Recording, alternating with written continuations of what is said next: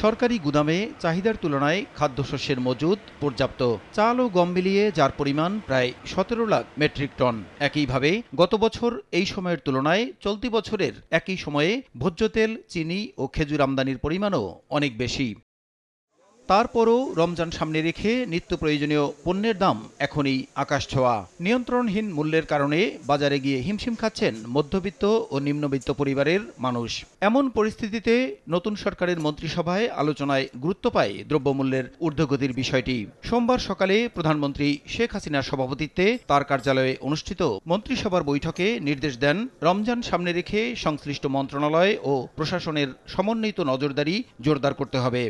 প্রধানমন্ত্রী বলেছেন যে কোনো সরবরাহের ক্ষেত্রে যেন কোনো ঘাটতি না সেদিকে সমন্বিতভাবে নজরদারি রাখার জন্য সংশ্লিষ্ট মন্ত্রণালয়কে উনি নির্দেশনা দিয়েছেন। বৈঠক শেষে সচিবালয়ে ব্রিফিংয়ে মন্ত্রিপরিষদ সচিব আরও জানান দ্রব্যমূল্য নিয়ন্ত্রণে রমজানে অতি প্রয়োজনীয় পণ্য হিসেবে ভোজ্য তেল চিনি খেজুর ও চালের উপর থেকে আমদানি শুল্ক হার কমানোর জন্য নির্দেশ দিয়েছেন প্রধানমন্ত্রী।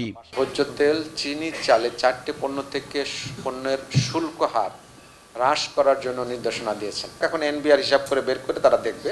আইন শৃঙ্খলা নিয়ন্ত্রণ ও অপরাধ কমিয়ে আনতে বৈঠকে আইন শৃঙ্খলা বিঘ্নকারী অপরাধ দ্রুত বিচার সংশোধন আইন দু হাজার চব্বিশের খসড়ার চূড়ান্ত অনুমোদন দেওয়া হয়েছে বলেও জানান মন্ত্রিপরিষদ সচিব।